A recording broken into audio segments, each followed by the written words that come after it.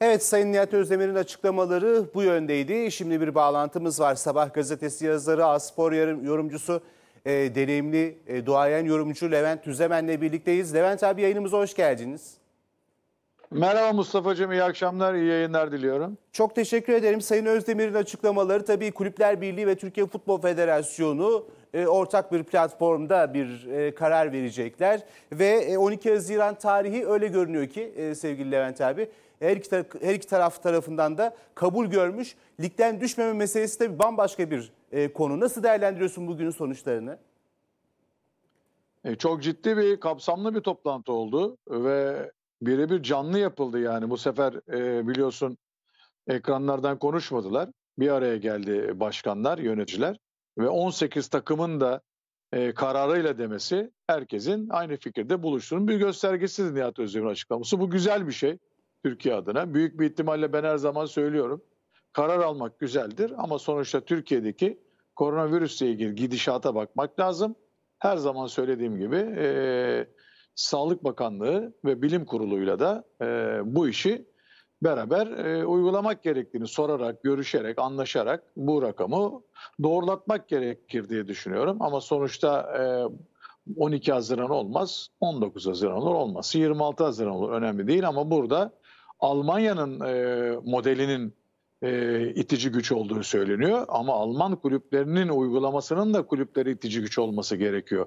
İşte Alman kulüpleri bu işi yaparken ev, tesis e, ortamını kaldırırlar. Kamp hayatı yaşıyorlar futbolcular. Bunu da kulüplerin yapması gerekiyor düşünüyorum. Burada beni e, şaşırtmayan ama e, beğenimi kazanan bir olay da Örneğin tüm kulüplerin kendi sağlık heyetleri var, doktor heyetleri var. Dolayısıyla bunlarla bir görüşme yapacak olması e, Türkiye Futbol Federasyonu'nun ve kendilerinin oluşturduğu sağlık kurunun bu çok mantıklı. Çünkü en azından bir prosedür sağlık konusunda işlenecekse kulüplerin sağlık heyetlerini devre dışı bırakamazsınız. İşte iş tarzda belki o kulüp doktorlarının da bir takım önerileri olacaktır diye düşünüyorum. Bu önemli bir adım. Ee, burada benim ilgimi çeken e, özellikle e, Kulüpler Birliği Başkanı Sayın Mehmet Sepi'nin söylediği rezerv ligin başlaması. Bu sene bunun sıkıntılarını kulüpler yaşadı. Birçok oyuncu e, belki kadroya giremedi geniş kadro içerisinde. Ama rezerv lig uygulamasında bu oyunculardan faydalanıyorsunuz. En azından performanslarını yükseltmeleri için rezervlik çok değer taşıyor.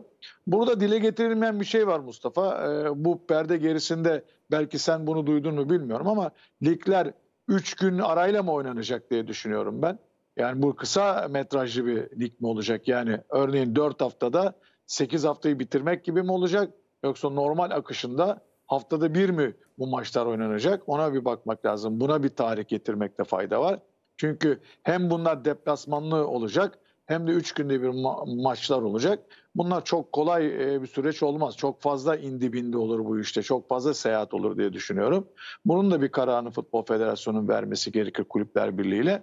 Ayrıyeten beni en çok şaşırtan 7 tane kulübün e, küme düşmeme konusundaki talebi oldu sevgili Mustafa. Yani bu şimdi neye göre yani neyi gerekçe gösteriyorlar ki ligde düşme olmasın? Ben bunun önce nedenini öğrenmek isterim. Yani sonuçta mağduriyet varsa her kulüp için bir mağduriyet var. Şüphesiz. Ekonomik bir sıkıntı var. Her kulüp için var diye ben düşünüyorum. Yani bu 7 kulübün talebi son derece tehlikeli bir talep. Ha, Futbol Federasyonu bu kabul edebilir mi? Belki edebilir. Yani edilecek gibi de bilgiler dolaşıyor. Ama bir gerçek var ki o zaman 8 haftada haksız rekabet yaratır. O 7 takımın kafaca motivasyonunu sahada bulabilir misiniz o oyuncular? Mümkün değil.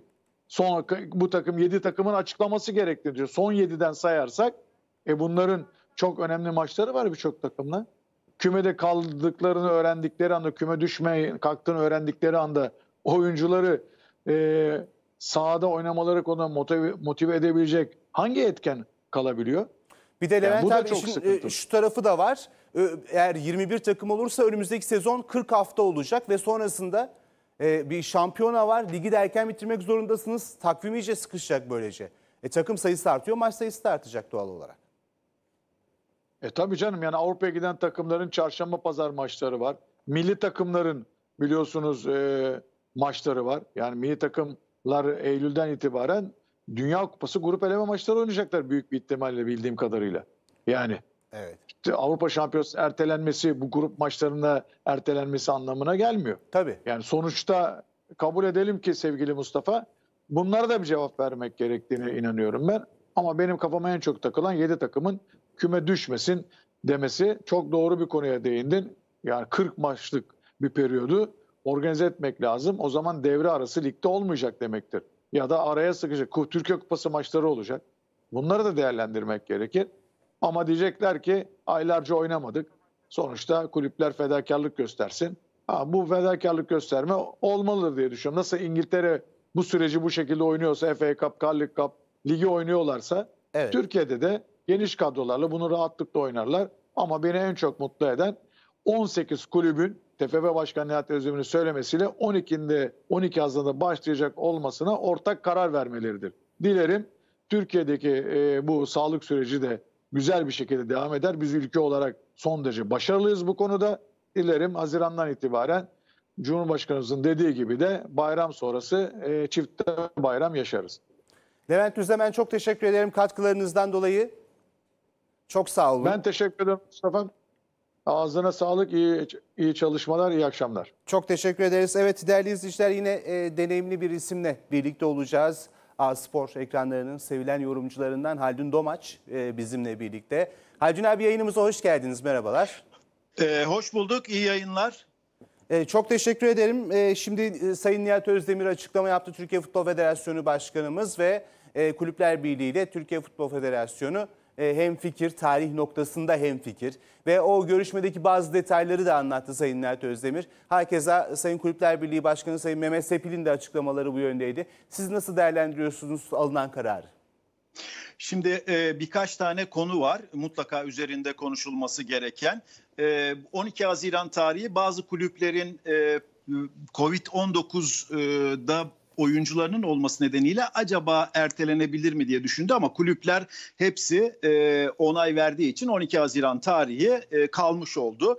E, açıkçası beklentilerimiz acaba bir hafta ötelenebilir mi şeklindeydi. Orada herhangi bir sıkıntı olmadığını net olarak gördük ki kulüplerin onay vermesiyle 12 Haziran oldu. Ama burada e, bence gündeme bomba gibi düşen konu 7 kulübün e, küme düşmenin kaldırılması noktasındaki isteği bence e, çok daha e, enteresan. Tabii bu arada küçük bir notu da unutmayalım. 28 Mayıs'ta tekrar bir görüşmeyle e, o tarihle ilgili son karar da verilecek. Onu da söyleyelim ki. Şimdi burada önemli nokta şu. 7 kulübün küme düşmenin kaldırılmasını istemesi ve bunun da federasyon tarafından değerlendirilmeye alınacak olması. Federasyon bu konuyu değerlendirileceğiz dedi. Ama ortada 3 tane çok önemli sorun var bu noktada. Bir tanesini e, hatta iki tanesini siz konuştunuz. E, onu söyleyebilirim. Bir tanesi 2021'de yani e, 11 Haziran 11 Temmuz tarihleri arasında yapılacak olan e, Avrupa Şampiyonası'nda milli takımımızın yer alması. Mesela bu konuda Şenol Güneş'in e, düşüncesi ne olacak? Yeterince hazırlık süresi kalabilecek mi? Evet e, şimdi e, şöyle söylenebilir. Az önce konuştuğunuz için söylüyorum. Premier, Lig'de de e, maç sayısı fazla denilebilir ki kaldı ki 20 takımlı Premier Lig'de 38 maç oynanıyor. Burada 40 maç oynanacak. Üstelik onlar biliyorsun bir bayram gördükleri için yıl başında üst üste maçlar oynuyorlar ki bizim acaba o kadar üst üste maç oynayacak kadar bir zenginliğimiz oluşacak mı? Bunu tartışmamız lazım bir. İkincisi önemli bir konu motivasyon dediniz ki ben de katılıyorum. Ya küme düşmeyeceğimi biliyorsam artık sahaya genç takımla çıkarım, istediğim oyuncuyla çıkarım.